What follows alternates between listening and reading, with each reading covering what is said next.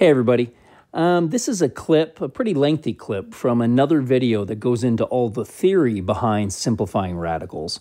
Um, what we're going to look at today is just a matter of if you have a value that you cannot calculate, like root 24, and get an exact value, how we can use factor trees to be able to go through and reduce that radical to a more simple form. So if you're looking more of a how-to video, I think this is your thing. So work your way through it, see some examples. Hopefully you like those factor trees as a means for simplifying radicals. Good luck.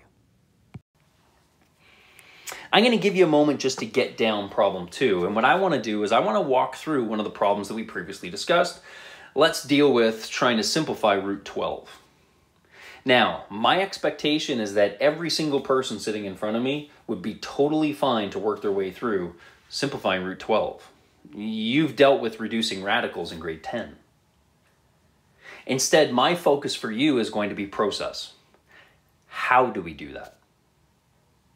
So what I want to start off with is a really long, but very clear in theory, solution to simplifying root 12.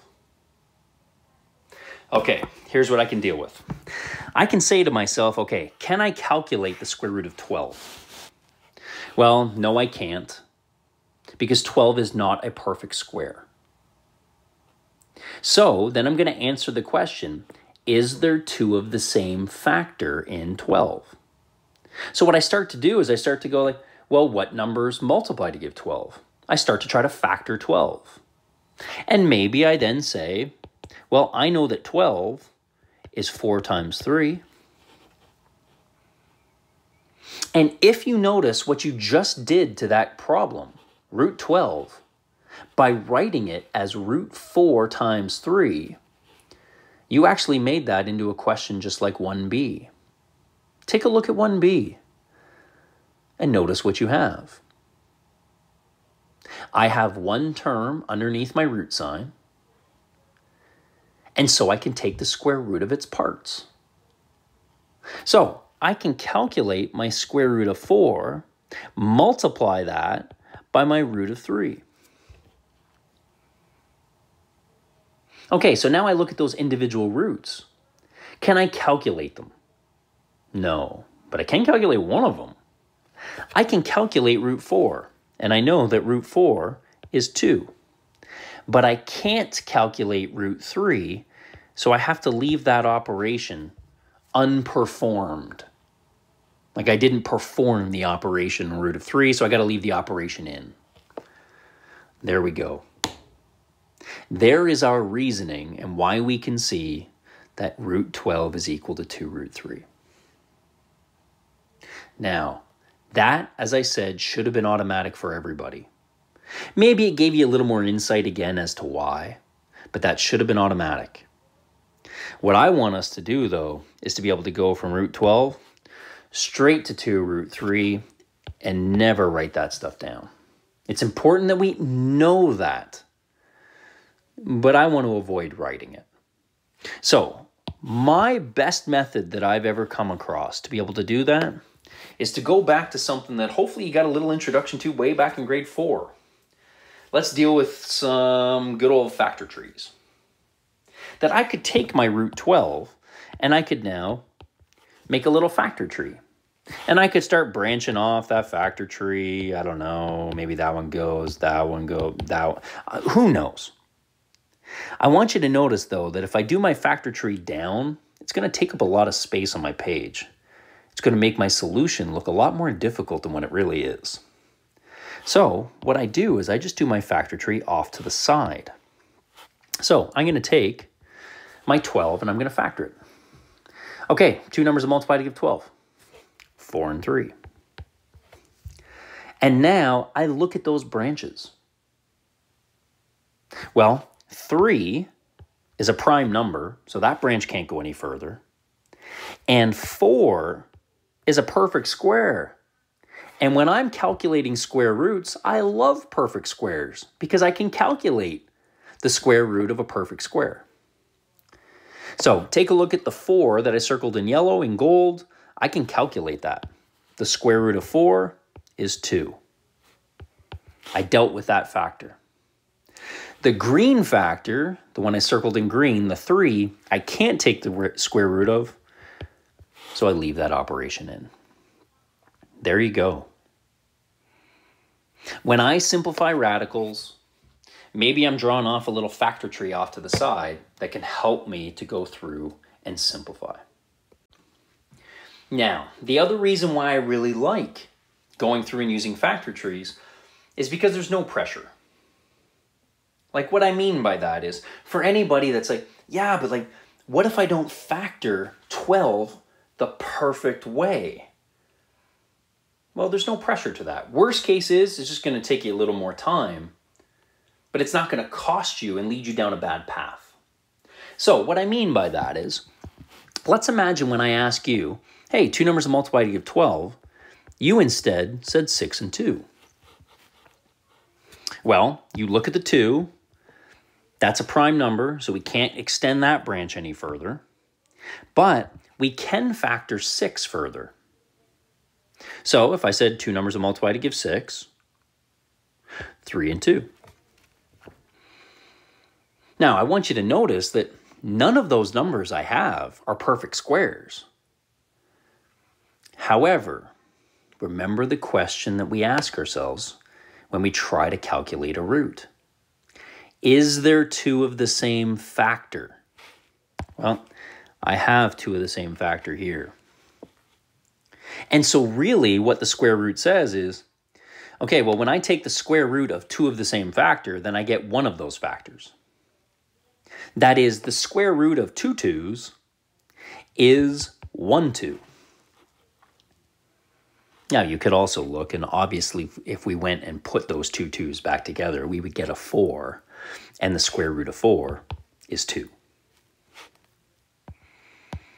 Now, you look at your factor tree, and the only branch that doesn't have a pair of factors and isn't a perfect square, the 3, well, then it's left underneath the root. See, it's nice. There's no pressure. It meant that it took me a little longer because I had to draw a longer factor tree. But it doesn't mean that, oh, shoot, I took an approach that won't work or won't help you. So, if we acknowledge that we want to be efficient with this, like we want to be quick with it, we want to be correct with it, then your goal when you try to produce your factor tree is to pull the blinders off. You know you can always throw them right back on and just mindlessly go and produce a factor tree. But your goal, can you factor something with perfect squares? Okay, let's take a look at B. What I'd like you to do, go through and produce a factor tree for 18. So off to the side, Two numbers multiplied to give 18. Okay, I am hoping that for most of us, we saw that the best way to view that is 9 and 2. The best way. However, I would have had a bunch of people that if I said, give me two numbers to multiply to give 18, they would have said 6 and 3. I really think the only bad thing you would have done is this. And that's not helping you at all. We want to break something up. So fight the urge to go a number itself and one. I'm going to actually get rid of that because it drives me nuts even seeing it. So if I take a look, my red factor tree, that one I would have to factor a little further. None of those are perfect squares, and the 6 isn't prime, so I could factor the 6 further into a 3 and a 2. Okay, the most ideal factor tree is the purple one. So let's look at the purple one. Look at the ends of your branches. Okay, I can take the square root of 9. That's 3. But I can't take the square root of 2, so it's left underneath. There's my answer, 3 root 2. Notice in the red, we get there. It just takes us a little bit. I don't have any perfect squares. So now I'm saying I need two of the same factor. And you'll notice that these two threes, There's two of the same factor. At the ends of my branches, I have two threes, so when I take the square root of that, I get one three. The only thing that doesn't have a pair is that lowly two. And there we go. So notice, if we put a little bit of pressure on ourselves, and we say, well, when I want to factor it, let's try to factor it where I get perfect squares in there. I don't want to put so much effort into trying to get a perfect square that it slows me down. Some of us might be way faster on the second factor tree. Your job through practice, you'll get pretty used to going through and trying to factor things in useful ways. Okay, we're going to keep it going. Okay, you see problem C, root 48. What I would like you to do is to go through and simplify that. So pause the video now, give it a shot. Okay, we're back. So we've got the root of 40 at 8. So I would have bet that I would have a bunch of people that would do this. And it's just because when we go through and we deal with a lot of factoring, factoring tends to take us to the middle of stuff. It's clearly not the best way for us to go through and factor in this instance because neither 8 or 6 are perfect squares, but who cares? It gave me one step. Okay, so now I'm going to factor that further. The 8 can be broken up into 4 and 2. The 6 can be broken up into 3 and 2.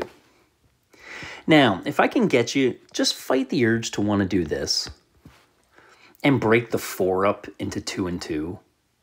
It's not needed. And it does make your factor tree look a lot uglier, which can make it more difficult to simplify. I can stop that branch right at 4 because I like that 4. That 4 is a perfect square. Okay, now I'm going to go through and I'm going to put everything together that I can. I take the square root of 4, so that's a 2. I also notice that I have two 2's. And when I take the square root of two 2's, I get one 2. So I got another 2. The only thing that doesn't have a pair or isn't a perfect square is that 3 so it's left underneath the root. And the only thing to do is just clean up the way that looks. We can simplify our coefficient 2 times 2, and there's our root 3. So hopefully we get down to 4 root 3. Now I want to go through two other factor trees that I think would have been common. I would have bet that our most common factor tree would have been this. Two numbers that multiply to give 48, I would have had a lot of people give me 4 and 12. What you just have to be careful of is that we don't go and do this. The square root of 4 is 2. I can't take the square root of 12. Because we can clearly see we simplified root 12 earlier. So 12 clearly does reduce. But I would have expected a lot of people to give me 4 root 12 or 4 and 12 as their first lines in their factor tree. Now we take that 12 and we break it apart. I think you really have the blinders on if you then did this. If you broke up 12 into 6 and 2, I want to shake you a little bit.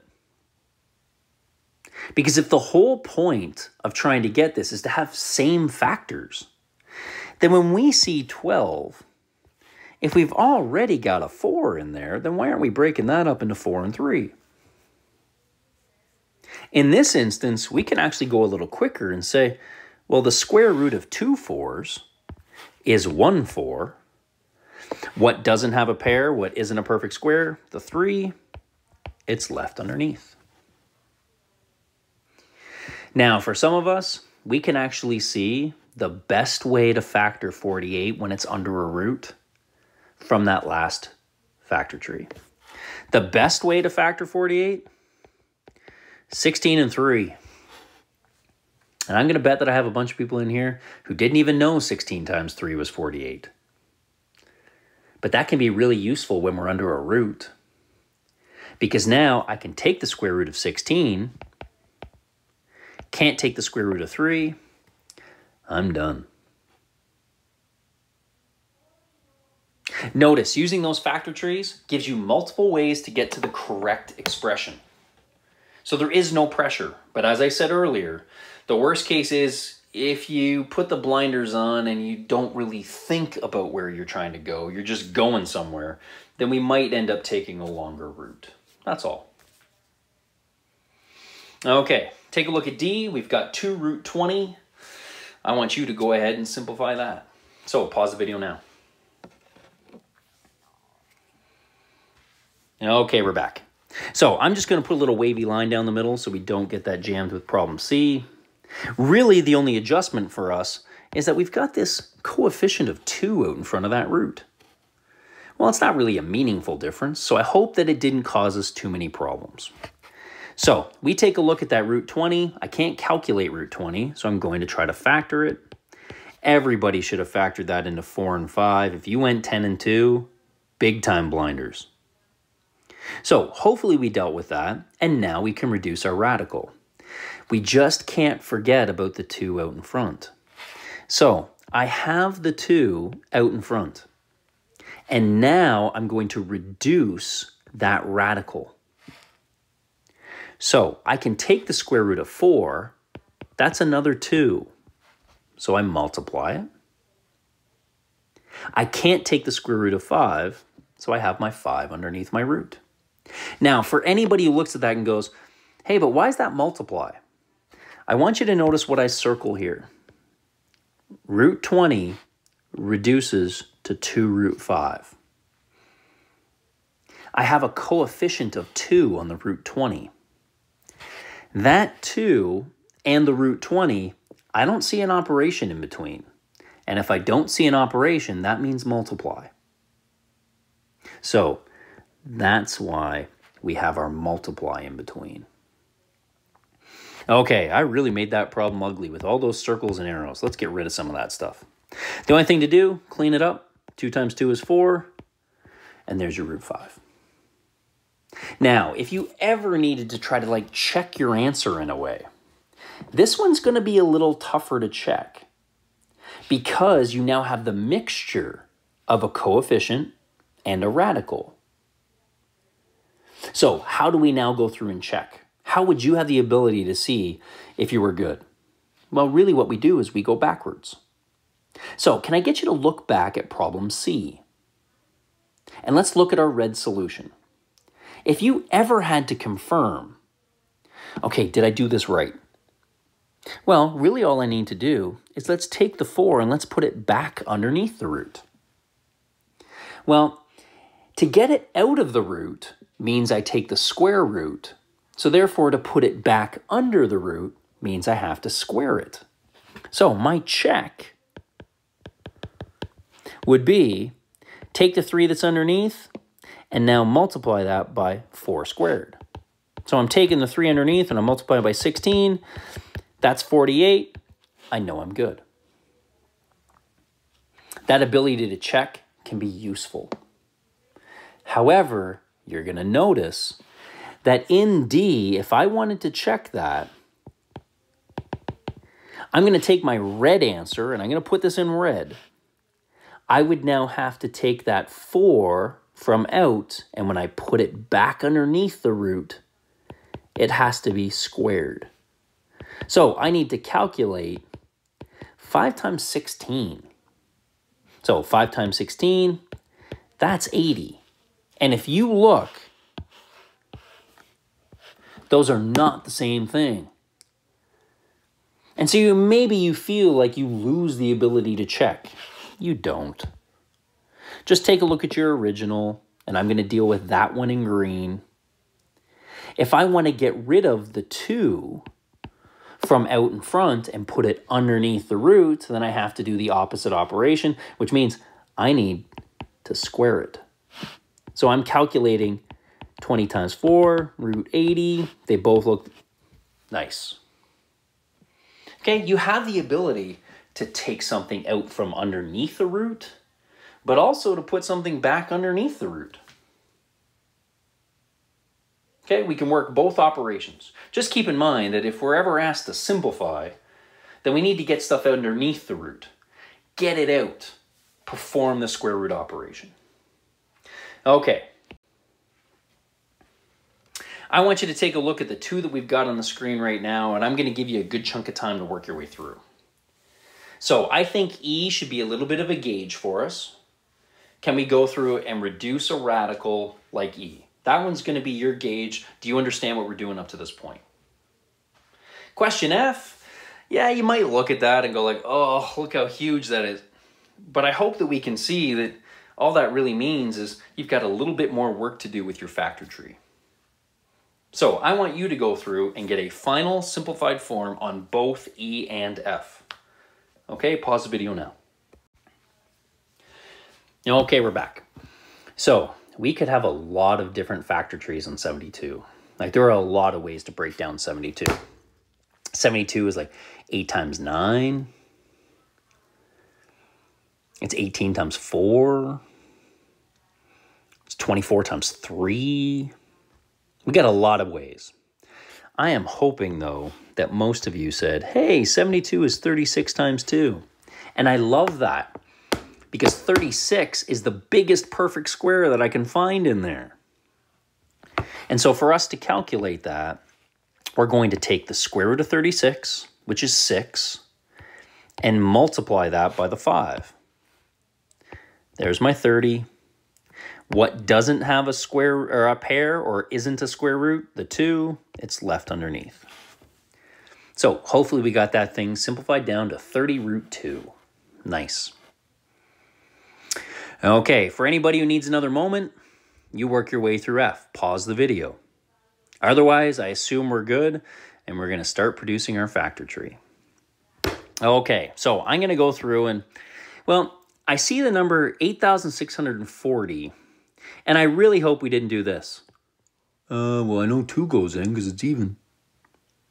Because I think we can see that's going to produce a really long factor tree.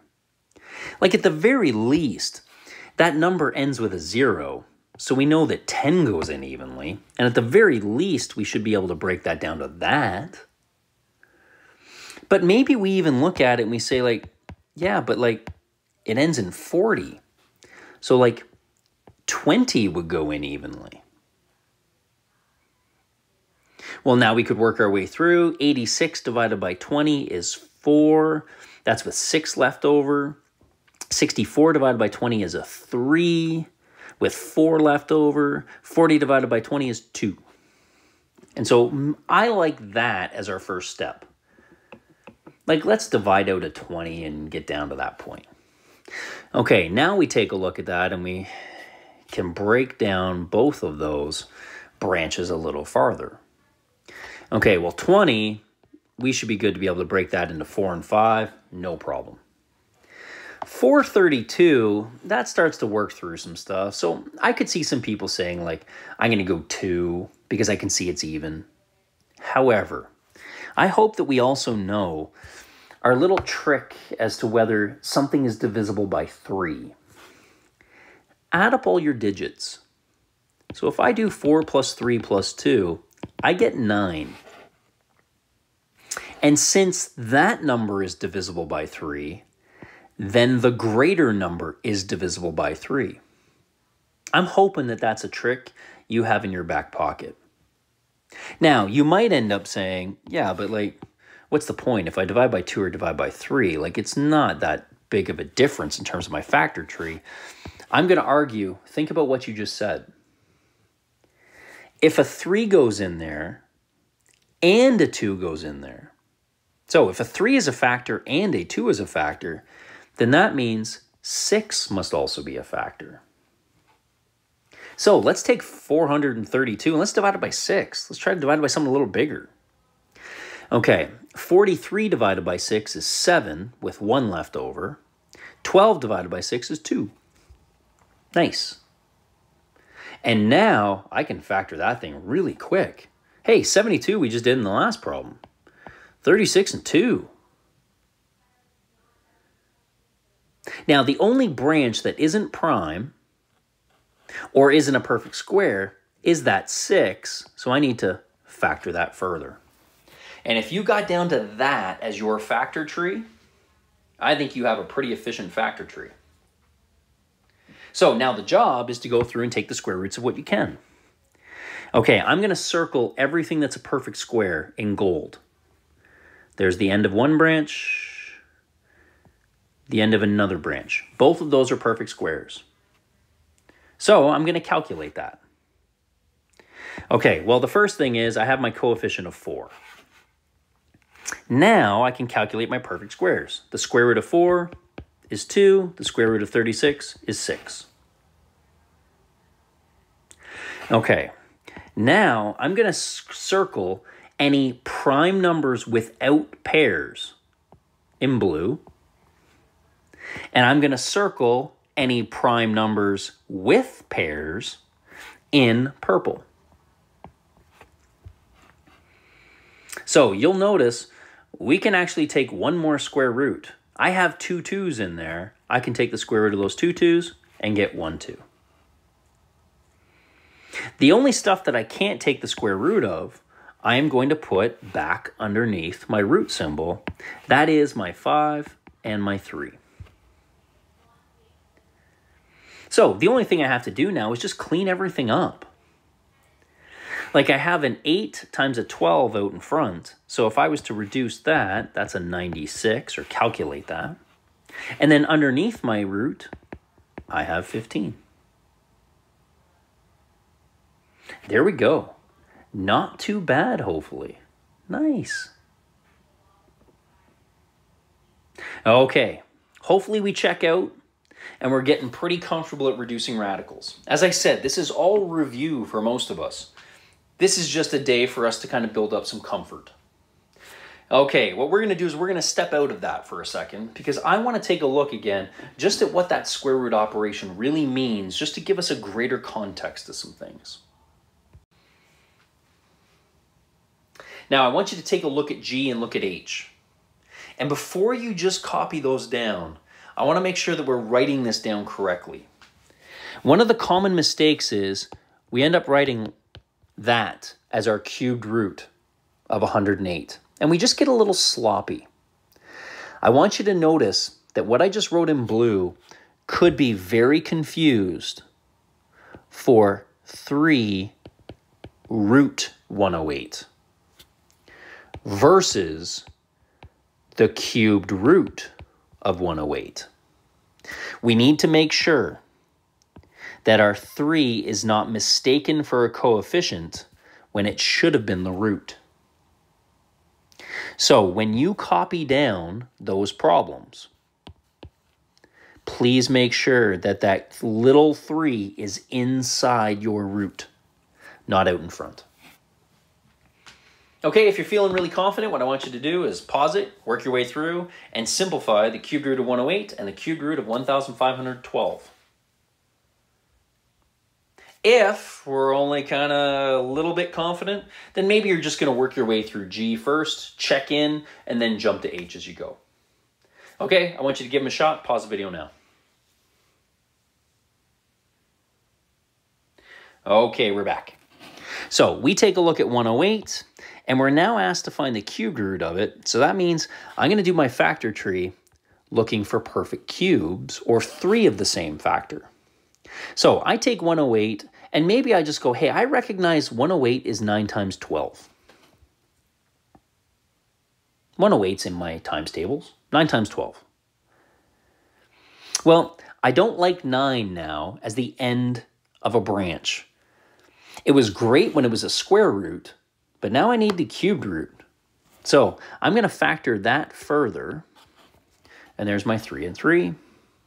I factor my 12. That's a 4 and a 3. And I'm actually going to probably stop my tree there.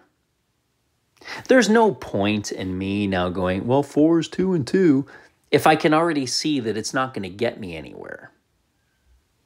So what I'll do is I'll stop my branch in my red, and now I'm going to find the cubed root. So cubed root says, can you find three of the same factor? Yep, I see three threes. So when I take the cubed root of that, I get one three, and I'm left with the cubed root of anything that doesn't have three of the same factor in it, that lowly 4. There we go. Hopefully we match up. So there could have been many different factor trees, but hopefully we got down to the same thing. Okay, I'm going to give everybody a second just to pause the video again and work their way through H. Okay, give it a shot. Pause it now. Okay, we're back. So let's take a look. 15, 12. Well, I'm not going to just default. I know 2 goes in because it's even. I'm going to do a quick addition of all the digits. 1 plus 5 is 6, plus 1 is 7, plus 2 is 9. 9 is divisible by 3. I have another one of those instances where 3 goes in and 2 goes in, so I know 6 goes in. So if I take 1,512 and I divide it by 6, 15 divided by 6, 6 will go in twice with 3 left over. 31 divided by 6 is 5 with 1 left over. 12 divided by 6 is 2. Okay, now I got my 252. Well, actually, if I check the same thing, that same thing's going to happen again. They're even, and if I add up the digits, I get 9. I know another 6 goes in. Okay, 25 divided by 6 is 4, with 1 left over. 12 divided by 6 is 2. Oh, beautiful. And I love getting down to that factor tree. Because now I can take the square root of it. I have, sorry, the cubed root of it. I have three sixes. So the cubed root of those three sixes is one six. And now I've got the cubed root of seven that I can't calculate. Okay, hopefully stuff matches up. Again, our factor trees don't have to, but our final simplified expressions do. Okay, your job. Jump in and get some practice. Your focus should be reducing radicals. Can we simplify them? But I'm hoping that some of the discussions we've had today about the rectangles or the squares and the cubes, about the possibility versus impossibility of practically building that stuff, but then also some of the conversation at the beginning about number systems gives us a little more of a well-rounded approach to what we're about to get into the next couple days. Okay? Remember, Square roots are not, is there a number times itself? But instead, we're going to transition that question into, are there two of the same factor? So when we see cubed roots, we're just looking for three of the same factor. Fourth roots, fourths. I think you get the idea. Okay, jump in, get some practice. Hopefully everything goes well. Good luck.